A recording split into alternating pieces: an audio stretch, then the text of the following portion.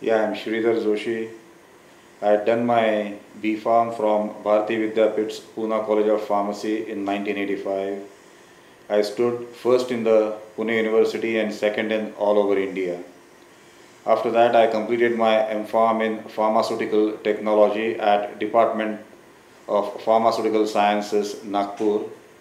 I stood second over there and I worked on microencapsulation, electrical properties in stability of microencapsulation, specifically zeta potential and dielectric constant.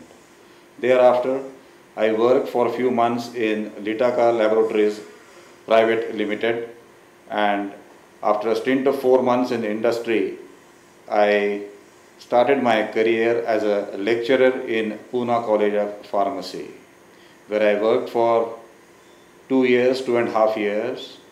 And after that, as I had an urge to start my own endeavor, that's why I started this JB Chemicals in 1991 in a small shade at Vadgaon. From Vadgaon we had shifted to this current place that is JB Chemicals Pirangut in 1993 and now we have a spacious factory of around 8000 square feet. See, basically, life is a very interesting phenomenon, you can say. What matters in the life is not the degree and the education that you have acquired during your college days. I was one of the few people who, who was never after marks, but marks always followed me, and thereby I stood first in the university and second in India.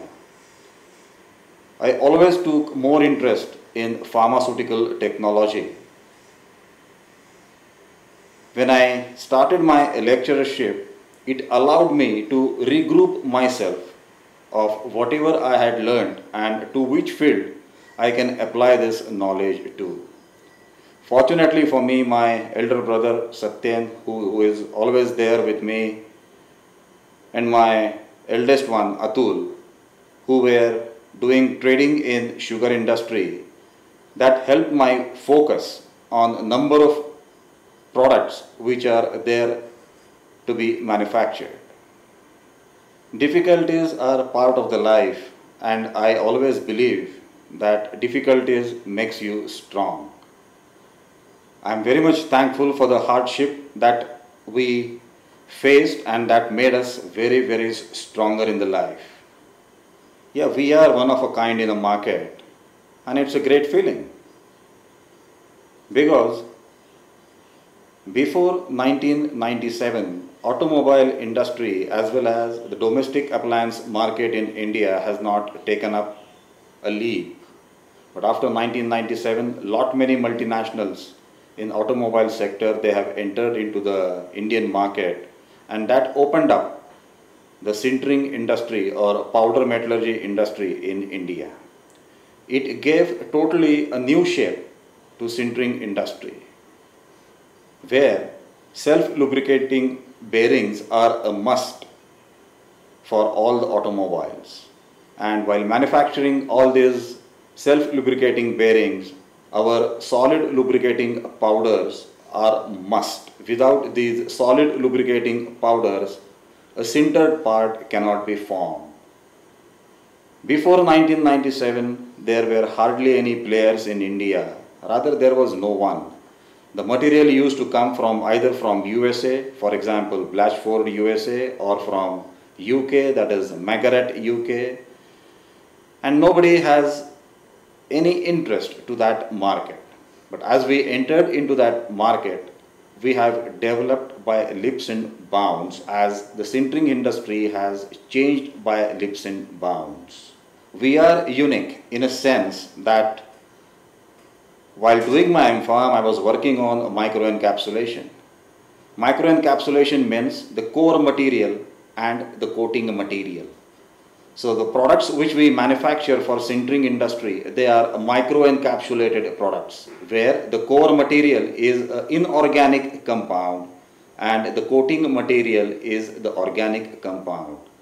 So that's how we have applied my knowledge of microencapsulation of pharmaceutical industry into the manufacturing of solid lubricants for sintering industry.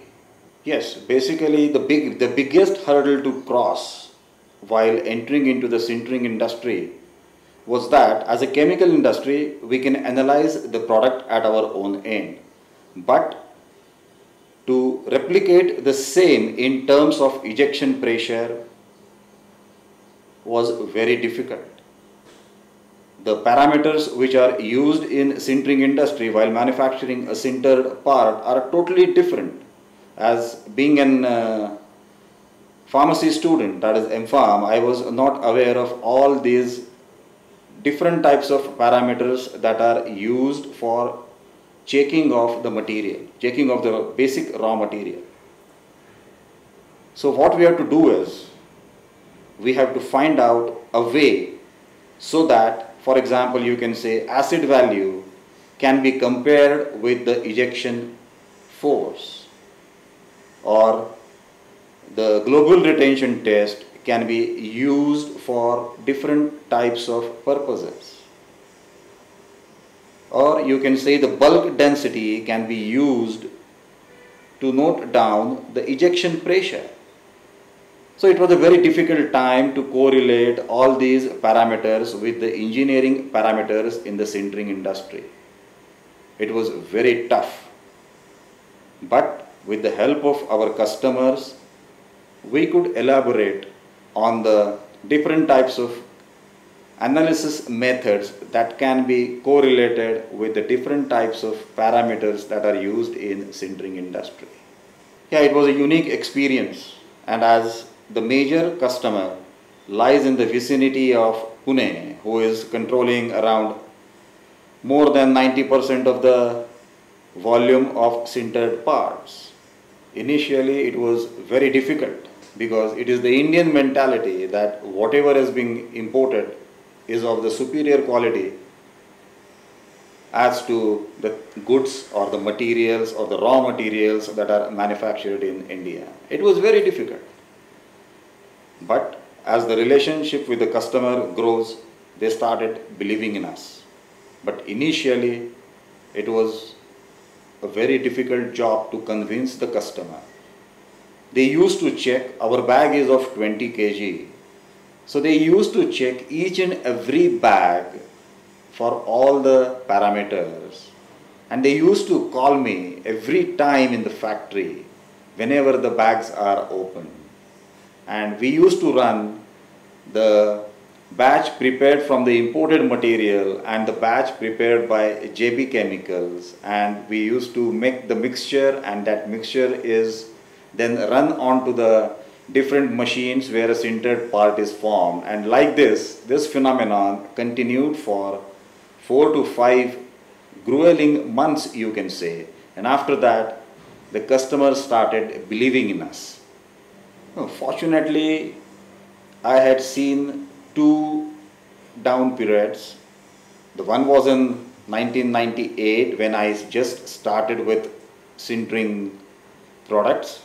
And the one, the biggest one, the, the biggest impact I had was in 2008 when the whole world had slowed down. But fortunately, that impact lasted only for one and a half months because the domestic appliance market which was there, they, all these parts which are manufactured by sintering process, they, are, they go into the domestic appliances such as fans, TVs, computers, etc. so that we could overcome the 2008 slowdown in the industry. See, basically, we could cope up with the recession in the industry because we are not only catering to the sintering industry needs, we are also catering to the needs of sugar industry, textile industry, engineering industry, plating industry, and paint industry and ferrite industry.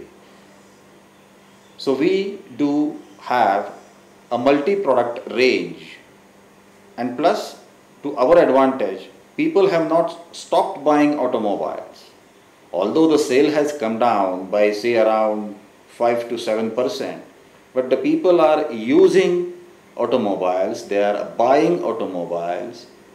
So there was no such thing as for the others that the business has come down to 0%.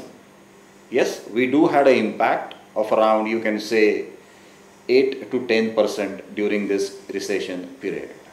Now we are working on a totally different type of process for manufacturing these solid lubricants. That means we are going to enhance our process techniques whereby we can cater to the needs of the sintering industry around the world.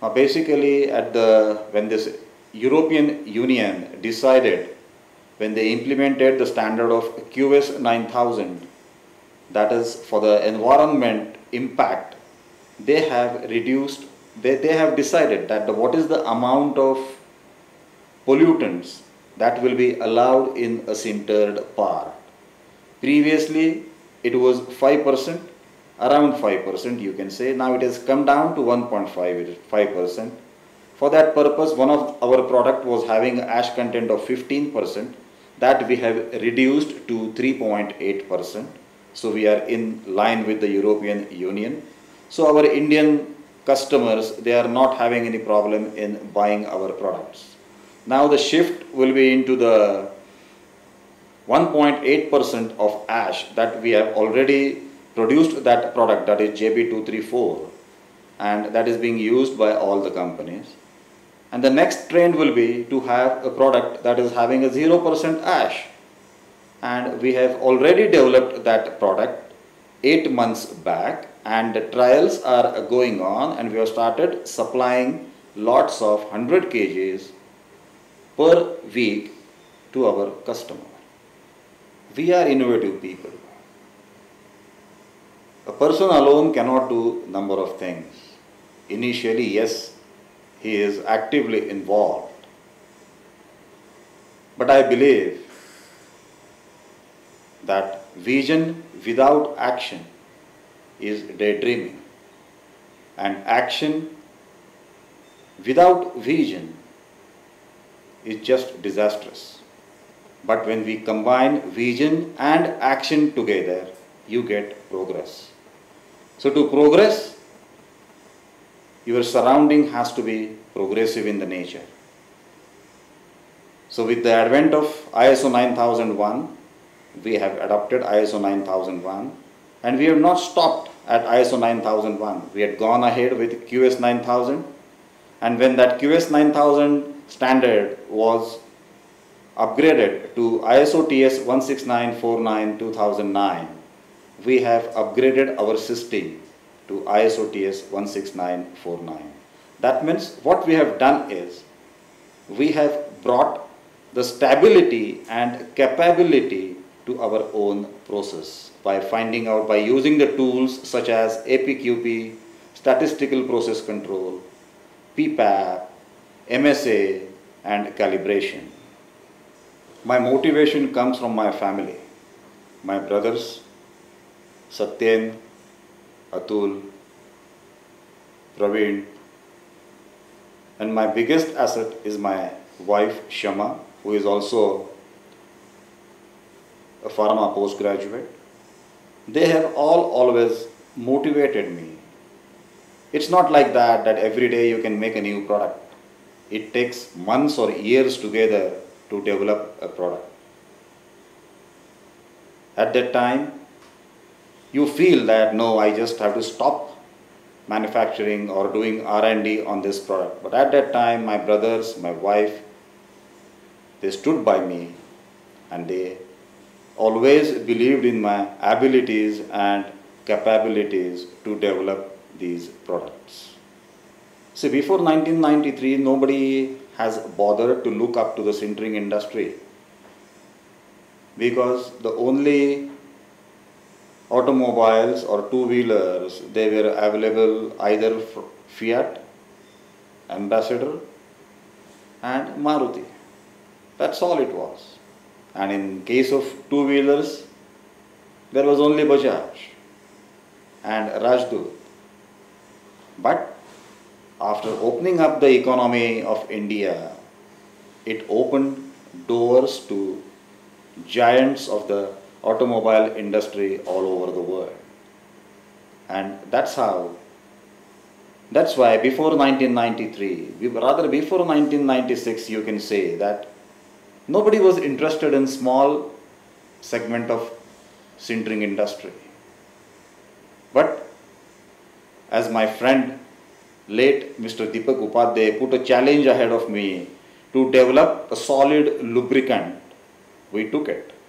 The quantity was small, but we always believed that produce quality and quantity will always chase you. We do save the foreign exchange of India because we have stopped completely the import of all these solid lubricants which are used in sintering industry. Even one of the major suppliers, it's a multinational company from abroad who has got a plant in India. Now they have also started buying the material from us. It's not because of only of the rate but because of the quality also